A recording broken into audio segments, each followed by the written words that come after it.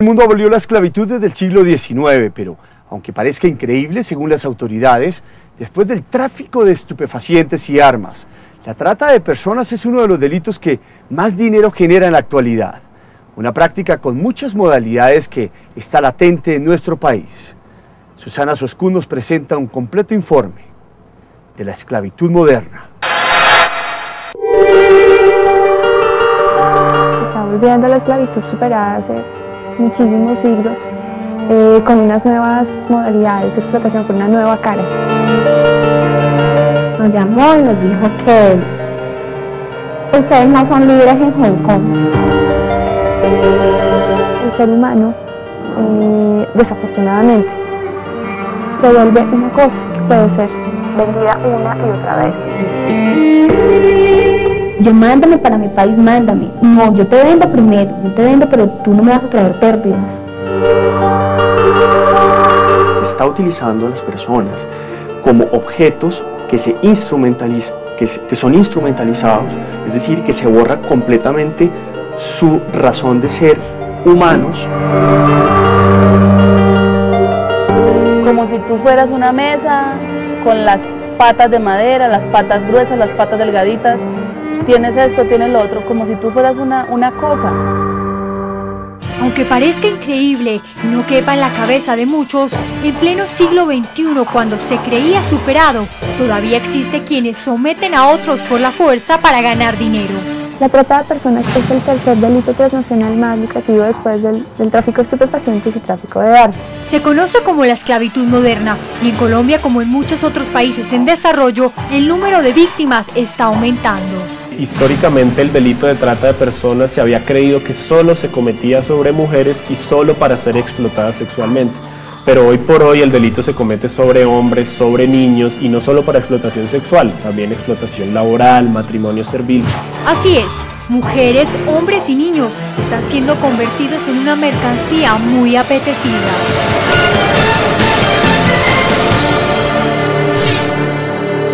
Los capitales que se están moviendo detrás de estos delitos son impresionantes. Estaba en una discoteca con unas amigas cuando se nos acercó un hombre amistoso y nos empezó a hablar, que de dónde éramos, que cómo nos llamábamos. Eh, después de como dos horas de estar allí con nosotras bailando, empezó a decirnos que, ah, que éramos muy bonitas, que si nos interesaba viajar al exterior. Que mm, había muchos planes para modelar yo me fui tan llena, tan llena, tan llena de ilusiones de que iba a poder sacar a mi familia adelante, que ya después que me dijeron la realidad de lo que yo iba a hacer, de lo que yo me iba a enfrentar, más que todo eso fue lo que me impulsó a seguir, a continuar. Engañadas, estas dos mujeres cayeron en las garras de una de las redes más grandes de trata de personas en el mundo. Fue a la casa de nosotras, y habló con mi mamá y le dijo que, que, yo lo servía como modelo, que iba a ganar mucha plata, que íbamos a vivir en la casa de la novia de él, que le dejaba los números de teléfono y todo donde podía llamarnos, localizarnos, normal, que no hay ningún problema. Pero solo unas horas después de haber llegado a Hong Kong en China, al otro lado del mundo, se dieron cuenta que la realidad era otra. Ella le dice a uno, bueno, usted vino aquí para yo lo voy a poner a trabajar en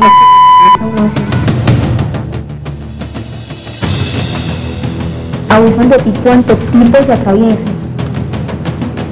Te, obligan a acostarte con cuanto tiempo te atravieses. Con amenazas de muerte a sus familias y una supuesta deuda por los gastos del viaje, ellas fueron obligadas a quedarse.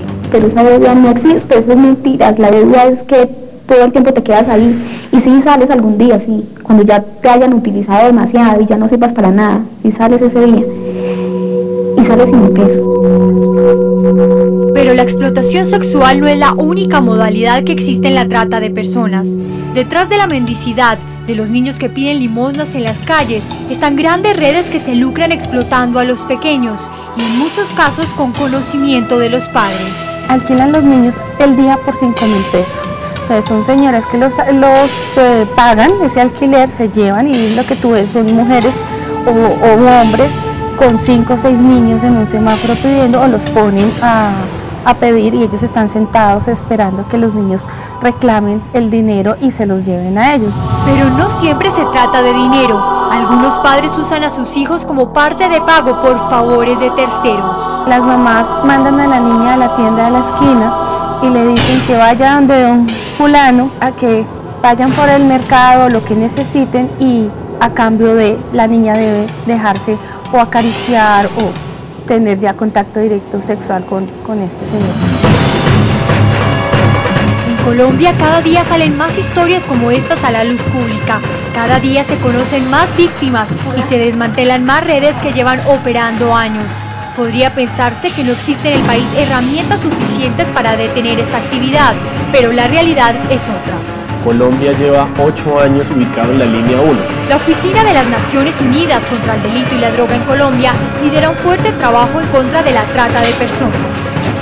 ¿Qué significa estar en la línea 1? Pues que se cumple con los estándares adecuados para combatir el delito.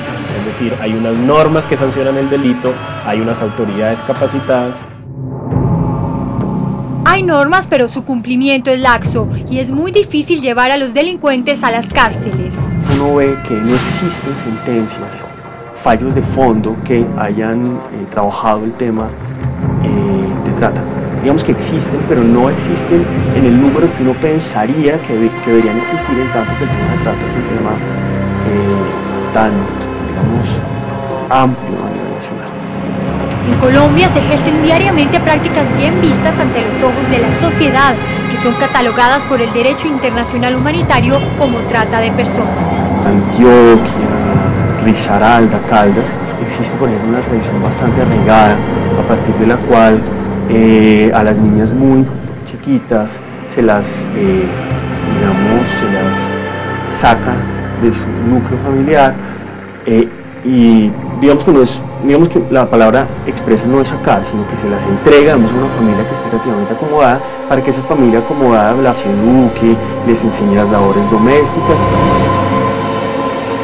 Niñas entre 12 y 15 años que se convierten en empleadas domésticas a las que les dan salida una vez cada dos semanas. Eso puede ser catalogado como trata de personas. ¿Por qué? Porque esta niña está alejada de su familia, no está estudiando, está cierta forma restringida su movilidad, no tiene la autonomía de decidir qué hacer con su vida, a qué dedicarse, y muchas veces no se le paga un salario justo, o no se le paga salario. ¿Y cuántos de nosotros sabemos de esos casos y los ignoramos porque nos parece normal? A finales de junio de este año cayó una de las redes más grandes de trata de personas del país. Tras un operativo que se denominó Cándida Heréndira, planeado por meses, la SIGIN de Medellín se encontró con algo más grande de lo que se imaginaba. En un allanamiento pudimos encontrar 1.062 fichas biográficas. Entre una carpeta encontramos esa cantidad de hojas de vida. En ese momento las tenían. A mi precisión, yo alcanzo a atreverme a decir que pasaron más de 4.000, 5.000 mujeres. Porque es que esta banda lleva más de 20 años funcionando.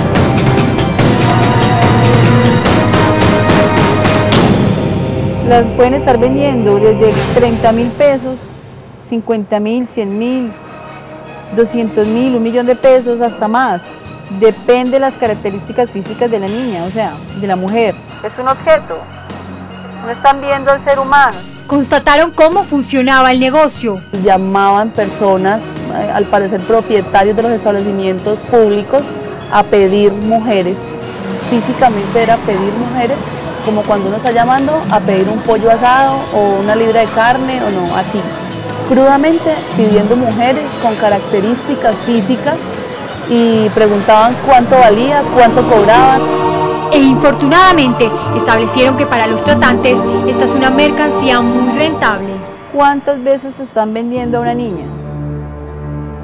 La venden, la consumen, la regresan, nuevamente la venden. Y así ocurre miles de veces. O sea que el lucro económico es demasiado alto para, para estos delincuentes. Colombia es actualmente el tercer país con mayor número de víctimas de trata de personas en América Latina y a pesar de tener las herramientas jurídicas para combatirlo, este es un delito que sigue dejando muchas víctimas. A mí me destruyeron destruyeron gran parte de mi vida porque nunca voy a olvidar lo que fui. Yo nunca voy a olvidar que fui prostituta, que me vendieron como les dieron la gana y que destruyeron gran parte de mi vida, porque eso nunca ha servido.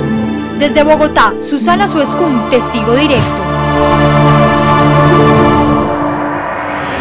Bueno, si usted vive esta situación o cree que alguna persona está siendo víctima de esta práctica, puede comunicarse con la línea gratuita nacional 018052 2020.